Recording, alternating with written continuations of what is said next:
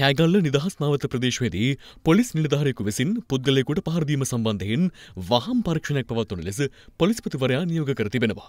අප කරලද සොයා බැලීමකදී අනාවරණ වුණේ පොලිසිය අදාළ පුද්ගලයාට පහර දී ඇත්තේ මද්‍රව්‍ය භාවිත කර සිටි සැකකරු වයෝවෘද්ධ කාන්තාවකට පහර දුන්න අවස්ථාවක බවයි.